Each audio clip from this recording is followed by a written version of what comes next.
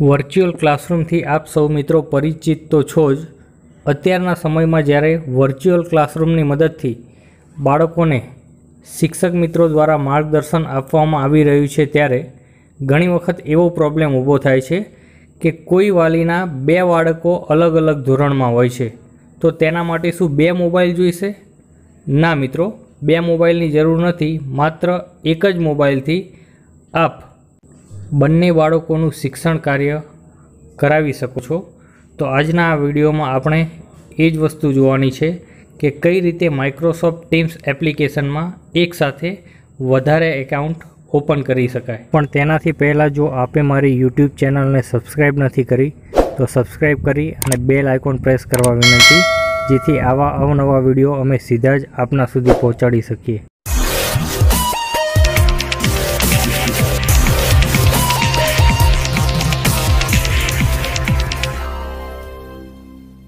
સૌપ્રથમ આપણે Microsoft teams application open કરીશું.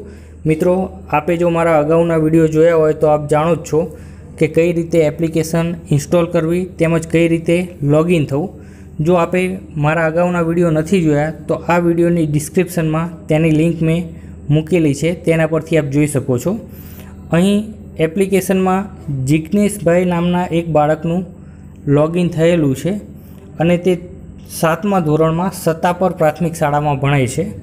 હવે ધારો કે આ જ બાળકના બીજા ભાઈ કે બહેન પણ આ જ શાળામાં ભણે છે, તેનું પણ આપણે જો લોગિન કરવું છે અને એ પણ આ જ મોબાઈલમાં, તો કઈ રીતે કરવું તે જોઈએ. તો ડાબી બાજુ સૌથી ઉપર ત્રણ આડી લીટી છે, તેના પર આપણે ક્લિક કરીશું. તેમાં આપ જોઈ શકો છો સૌથી નીચે એડ એકાઉન્ટનું ઓપ્શન છે.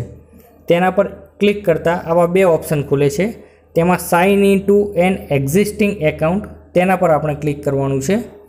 ક્લિક કરતાં જ અહીંયા આપણને યુઝર આઈડી પૂછે છે. જે બીજો બાળક છે, તેનો યુઝર આઈડી મેં કોપી કર્યો છે. અહીંયા પેસ્ટ કરું છું.